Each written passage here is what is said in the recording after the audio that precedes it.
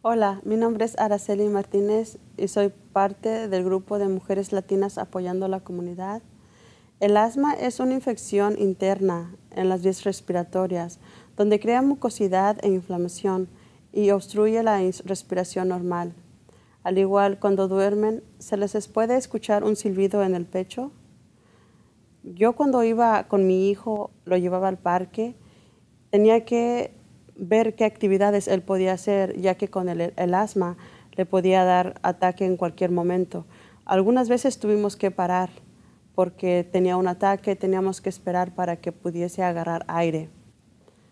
Para mantener controlado el asma, les recomendamos seguir todos estos pasos que nos han ayudado a nosotras, las mujeres latinas, apoyando a la comunidad con nuestros hijos. Gracias.